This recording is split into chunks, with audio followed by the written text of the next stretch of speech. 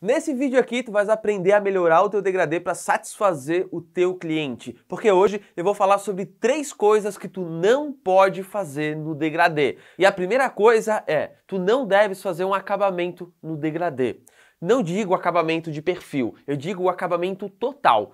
Por quê? O sentido do degradê é ele sumir, é como se ele desaparecesse. Então, por exemplo, um degradê do pente 3 ou 9mm até a zero, ele simplesmente apaga, ele começa bem escuro, vai ficando claro, claro, claro, de repente, pum, não tem mais cabelo. E quando eu limito com acabamento, ele tem fim. Entendeu? A ideia do degradê é que ele não tem fim, tu não sabe onde ele começa, onde ele termina. E quando tu faz o degradê, tu sempre sabe onde ele termina. Onde é que eu posso fazer o acabamento, Felipe? Tu pode fazer o acabamento na parte da testa, no perfil, nessa região, na voltinha que tem aqui, fica muito bacana. Na parte de trás tu pode fazer na lateral, mas tenta não fechar ele todo. Por mais que o cliente peça, ah, eu gostaria de fazer o acabamento faz o acabamento em algumas regiões. O cliente ele não entende isso. Ah, mas o meu cliente pediu para fazer o acabamento. Aí tu foi lá cegamente, tu fez o acabamento em tudo. Não. Faz o acabamento em algumas regiões, o cliente não entende. Qualquer coisa tu explica para ele. Claro, se ele forçar, não, eu gosto, faz acabamento em tudo, faz acabamento em tudo, tu faz acabar fazendo. Mas muitos clientes que pedem para fazer o acabamento em tudo, eles não têm noção do que é o degradê e como fica legal.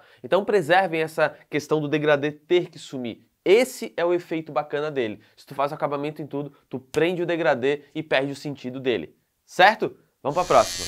E a segunda dica é tu não pode não cobrar a pigmentação. A pigmentação é um serviço que envolve alguns custos, principalmente um custo material, né? Tu precisa, se eu faço pigmentação com aerógrafo, por exemplo, eu tenho o próprio equipamento que eu precisei comprar, ele pode estragar, então tem a manutenção dele.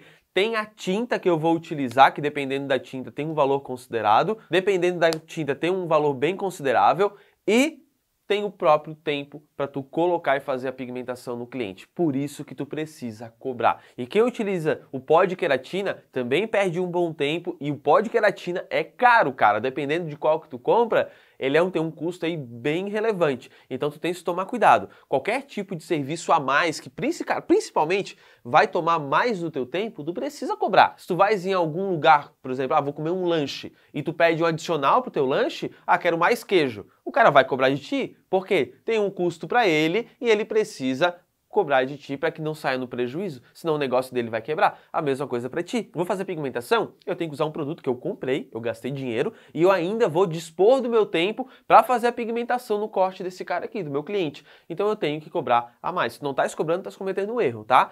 Claro, vai indo devagar, não precisa, ah, vou botar 20 reais a pigmentação. Calma, relaxa, calcula aí o quanto que tu deves cobrar para ser um preço bem justo para todo mundo e seja um preço honesto, certo? Outra questão, quando tu vai fazer uma pigmentação e tu não cobra e tu erra a pigmentação, o cliente ele cobra de ti. Então tem outra coisa envolvida ainda, beleza? Mais uma dica sobre pigmentação. Ah, tô fazendo pigmentação aqui nos cabelos e tal e tal e tal, mas eu tô fazendo pigmentação quando eu erro, quando eu acerto, tô fazendo pigmentação em tudo quanto é tipo de cabelo. Tu tens que utilizar a pigmentação quando tu queres potencializar o teu degradê e não para ficar arrumando erros que tu cometeu. Putz, acabei errando aqui no pente 1, no pente 0. Então não faz esse tipo de coisa. Ajusta esse tipo de coisa tecnicamente. Vou estudar um pouquinho mais, ver o que, que eu posso melhorar, o que, que eu posso ajustar na minha técnica e tal. E a pigmentação tu utiliza para potencializar o teu degradê e para tirar uma boa foto no Instagram, para fazer uma boa divulgação.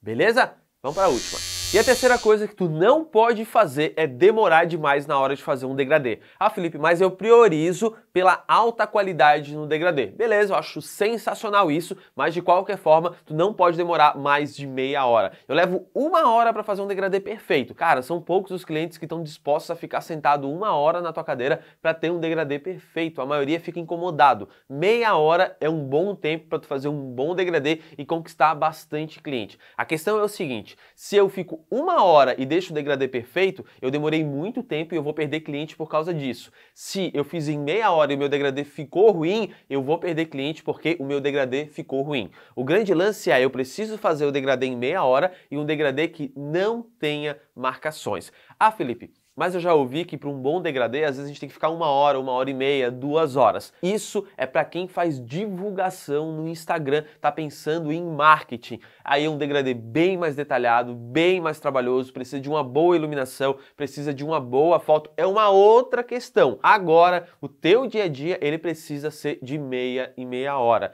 Isso vai potencializar a tua agenda, tu vai conseguir ter muito mais clientes e o número de cliente que gosta de um corte rápido e um bom corte é muito maior do que um cliente que gosta de um corte de uma hora para ele ficar espetacular. Até porque o cliente ele já não enxerga essa diferença. Existe um ponto onde ele enxerga e daqui para frente é só de barbeiro para barbeiro que vai acabar enxergando. Então toma cuidado com isso. Toma cuidado com isso tá? Tenta sempre fazer um degradê em meia hora e um bom degradê sem marcações. Esse é o ponto principal. Aí tu vai conseguir lotar tua agenda, vai conseguir realmente ter bastante cliente, os caras vão te indicar. É muito mais fácil o teu negócio, ele flui melhor quando tu estabelece de meia e meia hora fazer um bom corte. Ainda não consigo, Felipe. Calma com o tempo, ajustando, tu vais conseguindo, coloca isso na cabeça, divide o teu corte de cabelo em partes, né? Ah, quanto tempo que eu levo para tesoura? Quanto tempo que eu levo para degradê? Quanto tempo que eu levo para acabamento? Quanto tempo para lavar, quanto tempo para finalizar. Divide isso daí, estabelece um tempo, marca o tempo se for necessário e toma isso como meta. Quando tu tomar isso como meta,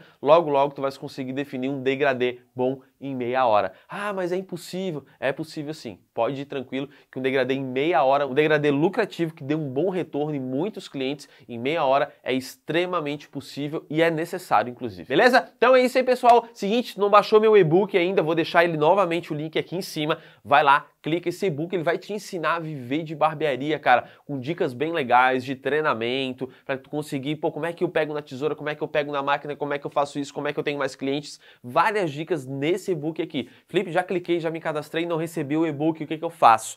Faz o seguinte, dá uma olhadinha na tua caixa de spam no e-mail, dá uma olhadinha na caixa de entrada, claro, dá uma olhadinha na aba atualizações e promoções e se não tiver em lugar nenhum, dá uma olhada no teu e-mail se ele está sincronizado com o teu celular. Às vezes isso acontece, o pessoal acaba não recebendo só por esse detalhe. Beleza? Então é isso aí, eu espero que vocês tenham curtido. Se vocês acham que, pô, tem um amigo meu aí que tá fazendo degradê, tá demorando demais e tal, eu tenho que mandar esse vídeo para ele. Vai lá, compartilha esse vídeo, vai ajudar esse teu amigo, ou se tiver algum parente, alguém que precise desse vídeo, compartilhe o vídeo que vai ser muito legal. E se tiver qualquer tipo de dúvida, coloca aqui embaixo para eu saber e para eu te responder, até porque toda quinta-feira a gente tem um pergunte ao Felipe e eu tô sempre respondendo os, as dúvidas de vocês. Beleza? No mais, um grande abraço para vocês e a gente se vê nos próximos vídeos.